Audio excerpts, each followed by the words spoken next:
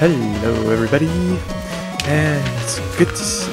Well, I'm not really seeing you here, but anyways, though, some of you guys might be wondering what the heck is going on. You are not mistaken. I am going to be doing a versus. Kind of what's been going around nowadays, you know, like what Attacking Toucans and Josh Jepson have been doing, what Lancis02 has been doing. I'm doing my own with a very good friend of mine, and we'll be, and like the previous video said, we'll be starting this up in, during around the Christmas time, but they won't be uploaded till around January, hopefully. And that's because we're both very busy, and we're both hoping that dur- during the near end of December, we'll have some free time to at least record the episodes and get this thing heading off in the right directions. Anyways, though, um, what did I want to talk about? Oh, right. So, first things first. So, I guess the main point of this video, not first things first, but the main points of this video are to explain the rules. So, Liam, listen up. This is for both you and me. you, the viewers, if you guys want, you can play along as well. I don't know why you would want to. This is for entertainment purposes. And if you guys want to prove that you're better than us, go ahead. But please remember one thing. We're both on GameCube controllers. Or will be on GameCube controllers. We are dec fairly decent. Okay, I'm fairly decent. Liam's more a veteran than me when it comes to the uh, Battle Network series on the GBA. But come on the GameCube, we will have so many issues because we're gonna have to use the D-pad and not this control stick, or it might be we might be forced to use that one. Anyways, to explain the rules, here's the first rule that we will be following.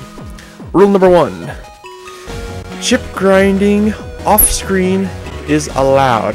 I'm allowing both of us to grind for as many chips as we want while we're off screen. This is just so that we're not grinding on screen and boring you guys to tears and wasting about 18 videos trying to find the correct chip for our uh, chip folders.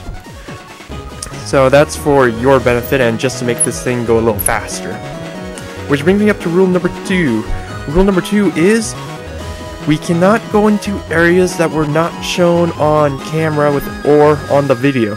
So for instance, uh, in the ACDC area, if we were to go, if we have not, okay, so, excuse me.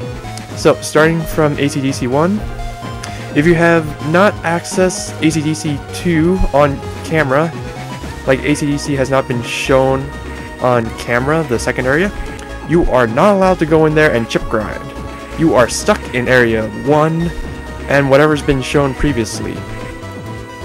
However, I will let both of us go into certain areas such as the doghouse or in some of those independent areas that are not story ba storyline based.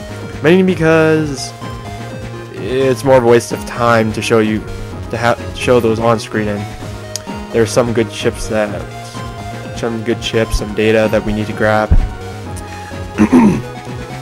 So there's that. rule number three, and this rule is more so for me than Liam. rule number three is no guides. We are going to we we have to go through this with whatever memory we have of the game right now. And this is mostly and I say this is mostly for me because I am the holder of the cheat book or the game guide in this case. Liam does not have one. I'm pretty sure anyways. And so just just so that we'll be going on a truth ru truth rule whereby uh, we promise not to cheat in any way, such as looking up guides beforehand or going to certain areas and chip grinding off screen. So we're going by a truth rule there. And if we ever do need to use a guide, um, I have set up a couple penalties that I believe to be fair. So, if we're using the guide story base, which I know I will be using at one point or another, uh, we must stand still for two minutes. While the other guy is free to do whatever the heck he wants. He can just chip grind, he can continue the plot. But for the person who used the guide, we must just stand still and twiddle our thumbs for two minutes. And it's our job to keep track of those two minutes.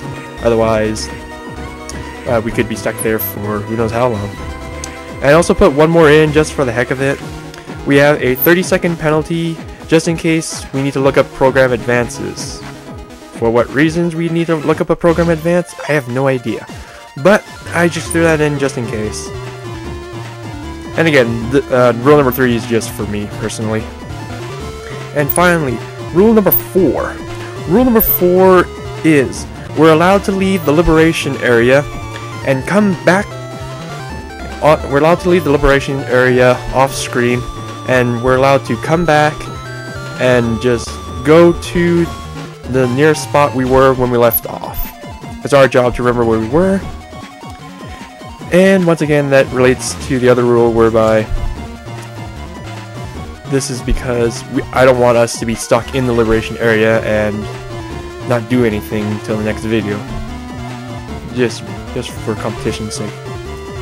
So yeah, we're allowed to go back to where, to, off screen we're allowed to go back to where we left off, but no further than that.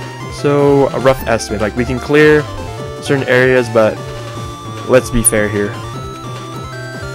So those are the rules I have set up. I'm probably missing one or two that I have not written down, but we'll see when we start and we'll come to that when it happens. Now you guys are probably just thinking that this will just be a whole race to the finish. Um, I'm using a three-point system here. The first point is obviously beating the storyline the fastest, and that should be the bulk of the episodes. The second way we earn a point is I've looked through the guide through my previous years. There's a certain area, I believe it's in the graveyard, or whatever that part of the net is called. We can fight our allies at their at their highest levels, which I think is they're called DX form or something. That is the area that we must access. So once we've beaten the game, we can just do whatever the heck we want. Look at the guide, look for chips, just to, just just so that we can access the area and prepare for all that. And once we access that, have access to that area and all the navis and be, and fight them, the one with the fastest time gets a point. Now, you might be thinking that this leaves room for a tiebreaker. Yes, indeed, it does. And for the third and final point, me and Liam will be fighting the good old classic Protoman versus Colonel battle. So we'll be duking it out in a best two out of three rounds and just seeing who wins. Anything goes for, for the fights. And I think it'll be a very good match. So, um, that's what's going to be happening. These are the rules. This is the point system.